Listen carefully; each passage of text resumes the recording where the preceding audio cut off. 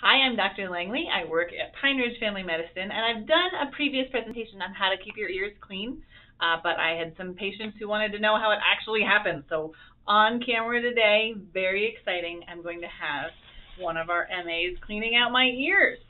So I usually recommend putting a, a Chux pad over your shoulder, especially if you're wearing work clothes so that you don't get wet unnecessarily. And then you get to hold this cool little cup that'll catch the ear liquid right under your ear. And I usually kind of spray the outside of the ear first so that you can kind of get used to the temperature. Yeah. And you can get used to the noise because it's not particularly comfortable. And it feels loud and tickly. And uh, yeah, it kind of gives me goosebumps. And right now I'm having my ear cleaned. Here, I'll try to tilt that.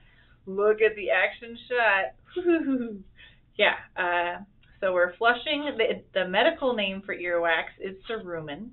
Uh, so this is technically a cerumen irrigation. Irrigation, did you guys catch the joke up there?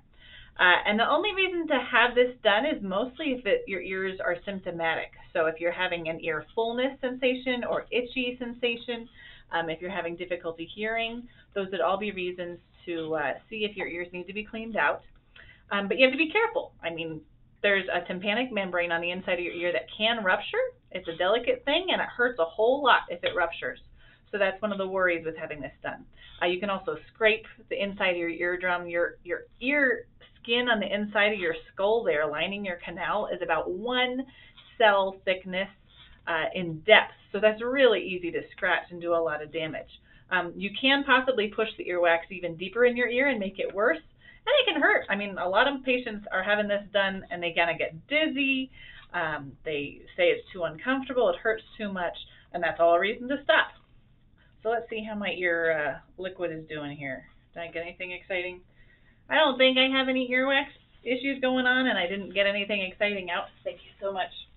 Um, and now I'm going to be dripping ear water out of my ear for the rest of the day, and that's normal, and it's okay.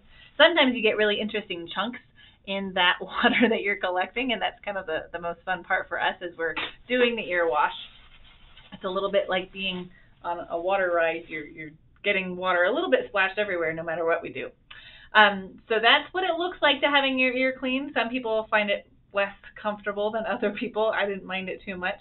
There's other options for cleaning out your ears too. Uh, cerumenolytics, which means a cerumen or earwax breaker upper. Uh, just things even just like warm water in the shower that can remove earwax. Uh, saline or mineral oil can sometimes uh, do the trick for getting extra uh, earwax out. Hydrogen peroxide is one of my very favorites. I feel like the bubbles really help to free any loose pieces of earwax that needs to come up. Um, liquid Colace, the same kind of Colace that you take as a pill for stool softener. You can squeeze the stuff out of the pack, out of the, the capsules, or get liquid Colace. That can sometimes break it up. Um, uh, and my the one that's been proven to be the best. It's called carbamide peroxide. I haven't been able to find it anywhere, um, so I usually rely on those other things for cleaning out ears on a regular basis. So those would be safe to do at home. A couple drops of mineral oil kind of mixes in with your earwax, especially if you have very sticky earwax. Um, it can help it to slide out more easily. Uh, because earwax, after all, is a very good thing to have. It's antibacterial. It helps trap things and get them out. Your ears are typically self-cleaning. The earwax kind of gently comes out on its own, and then you clean it off in the shower with a washcloth, something like that. Um, but some people just have naturally sticky earwax, so getting a little bit of help getting it out can be helpful. Um, so this was that. Those are cerumenolytics. This was technically irrigation. Irrigation, right? I already mentioned that. um, and that's typically done in a doctor's office. You can get a little kit at home. I've seen those new ads for the smart ear cleaners where you can actually look in your own ear on your smartphone. I'm not sure if that's going to catch on because ears aren't that exciting to look at. Um, but there's also manual removal, so physically taking something and scraping out the earwax. I recommend going to an ENT or at least a family doc for that sort of thing. Uh, people sticking Q-tips bobby pins, toothpicks, all sorts of weird things in your ear can easily cause damage to your ear. Like I was mentioning before, uh, there's a lot of skin in there that's very delicate and can hurt a lot. You could put a hole in your tympanic membrane and have decreased hearing and, and the risk of infection um, inside your ear where things are not supposed to get into.